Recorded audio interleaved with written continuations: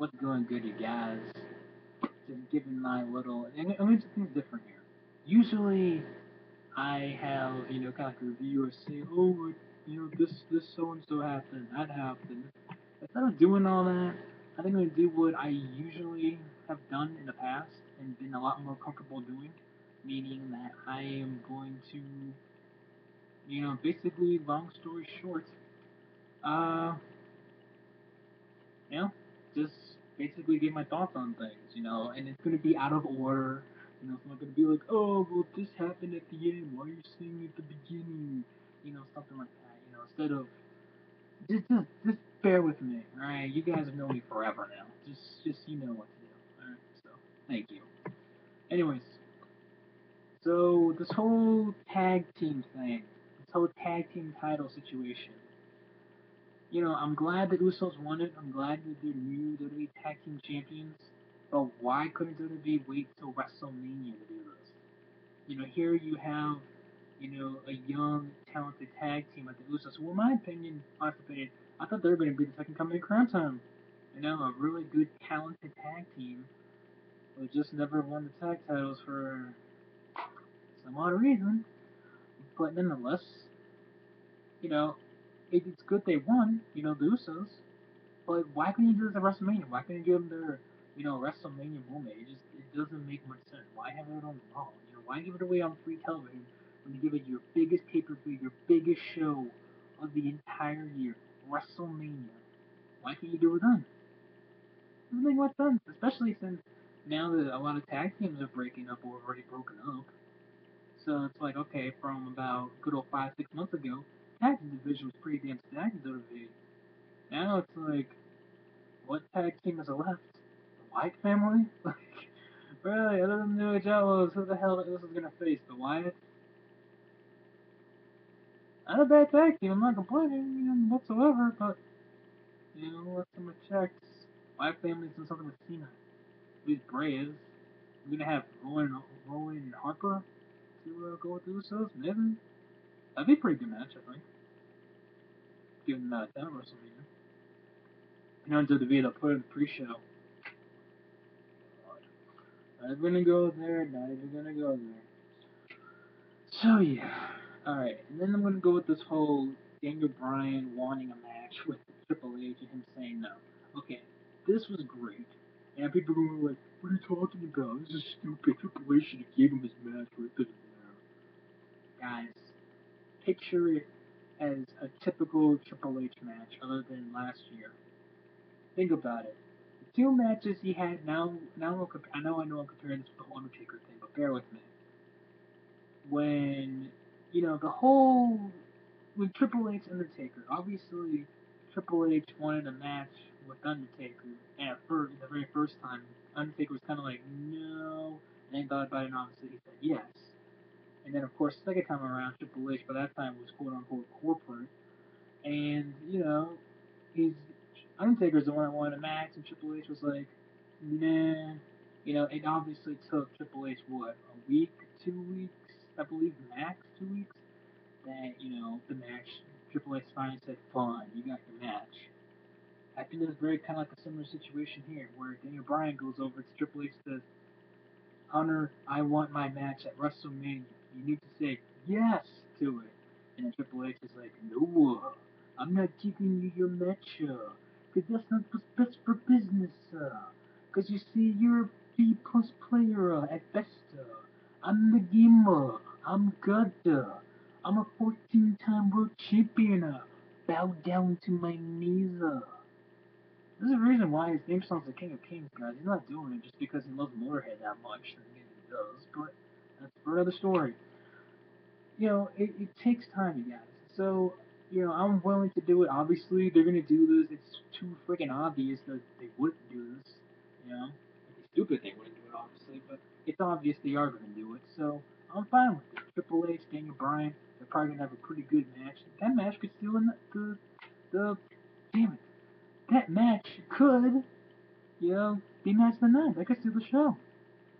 And to me, if I'm Daniel Bryan, that's a lot better than being the main event at WrestleMania, which a lot of people are saying, oh, Daniel Bryan wins, maybe he'll be in the main event at WrestleMania because they're thinking about doing triple threat and heel versus heel will make much freaking sense. Wish I could see that possibility doing, especially since the fact that how many times have we seen Daniel Bryan in the last, I don't know, several months have two matches in one night? It's too obvious, guys. So just, just, just chill, relax. Alright. And then this whole, okay, I'm gonna get this out of the way. The whole CM Punk thing. Oh, we're gonna hijack Raw because it's in Chicago, guys. Do you even realize how stupid that sounds? WWE, yes, obviously throughout the night there was CM Punk's chance from the beginning, the middle, and the end. I get it. But does WWE really give a goddamn? No, they don't. And why would they give a damn about one of their quote unquote top stars not giving a rat's ass about the company? Not giving a rat's ass of, you know, what the fans are gonna do. And he just picked up his, Steve Austin would say, he picked up his ball and went home. Well, in this case, he picked up his 12 year old looking girlfriend, went home, and looked like a pedophile doing it. But, anyways, you know, CM Punk, I've said this before, and I'm to express it now. He's an overrated bitch. I've said it, I'm saying it again. He's an overrated bitch. Alright? He doesn't give a damn what you guys think. Alright? Obviously, if he did, he'd be coming, get back. Oh, look, Hunter, uh, I'll say Paul. Paul, Vince, I'm sorry for what I did. You know, I was, I had a lot of things going on. I'm sorry. You know, I know you guys are coming to Chicago soon for Raw. I'd love to be there. Come back, please. Accept my apology. I'd like to come back. Then I could see maybe Vince saying, "All right, you know, let's water under the bridge. Let's do this." You know, something along those lines. But no, CM Punk as an arrogant little twat and stay at home in Chicago. Like, he lives in a freaking apartment too. So I'm like, you know, I'm not saying it has to be like Super Cena. Freaking has to be like, look at my man, look at mansion, like a hundred acres and shit of thing of freaking land that I never go on because I'm too busy doing other shit. But you know, it just proves that CM Punk give a damn about fans. But again, you guys still chant CM Punk, CM Punk, CM Punk, CM Punk. He just looks so stupid doing that. Like, he just proves my point how much of a bitch she is. Anyways, moving on to the night. You have the whole Cesaro and Swagger teasing of, you know, breaking up and having a match at WrestleMania. I'm fine with that. Cesaro's over as hell right now. Uh, you know, even though they're a really good tag team, and you know, that's another tag team I wish that could have had maybe like a title shot for tag titles. But you know what? You know, Cesaro's over. You got Swagger as a face. nice joke. Um, and then, you know, they'll just put up a pretty good match at WrestleMania. So I'm I'm all fine with that.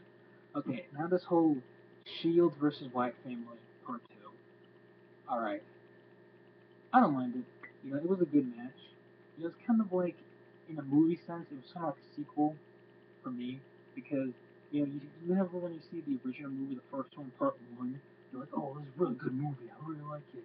You're all excited. You go see part two, and you're just like, eh, it was okay. It wasn't as good as the first one because you have that high expectation of how good it was.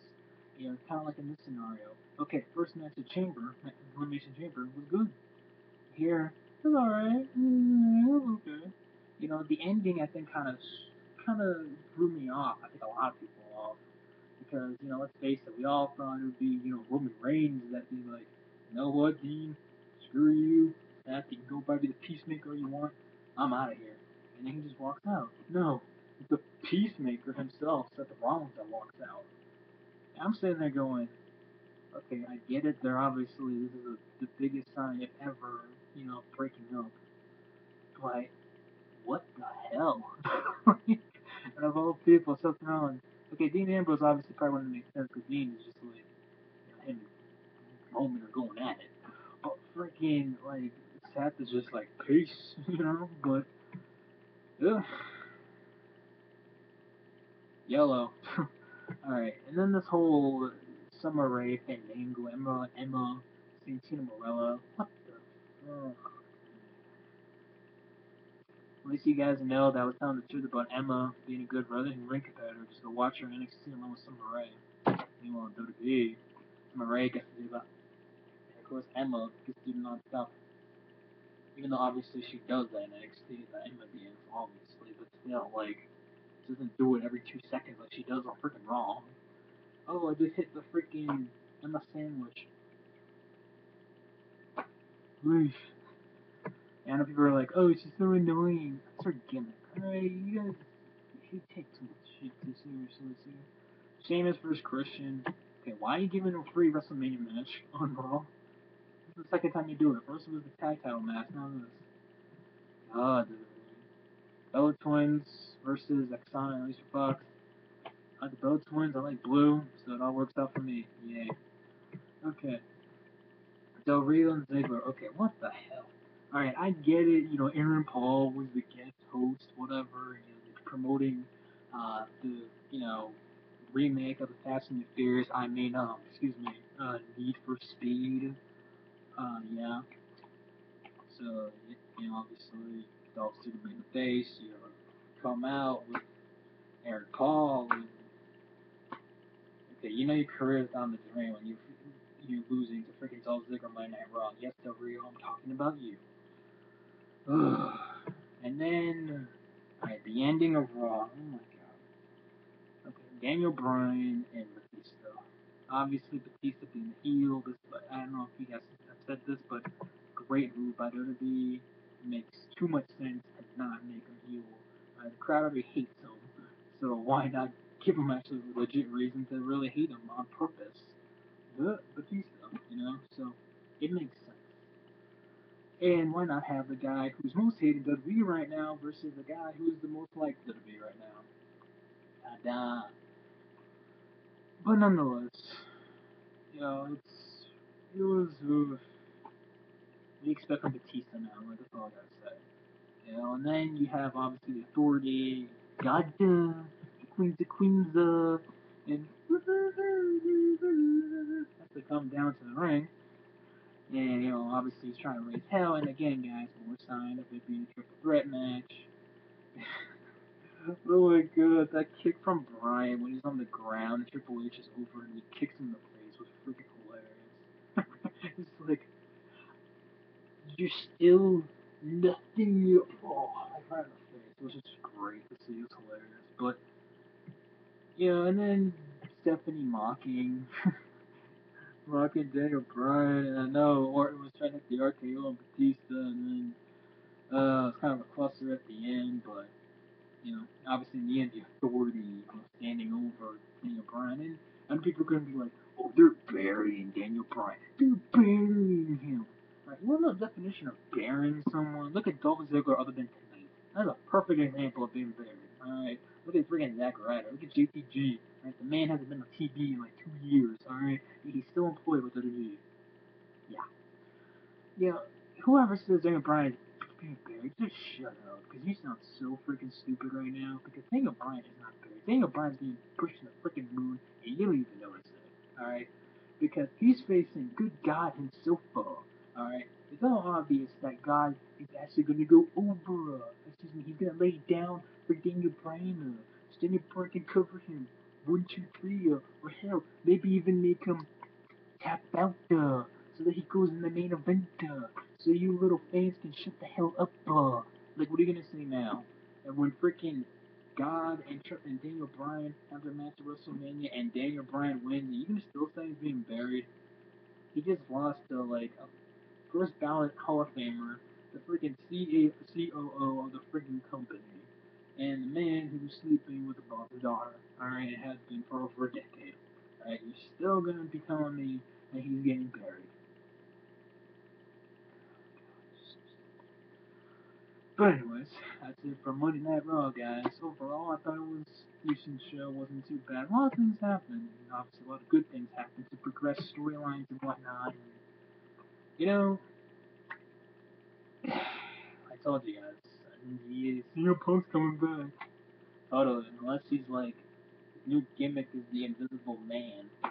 Never, he didn't come back. Alright, just plain simple. So, anyways, hope you guys enjoyed this video. I'm out.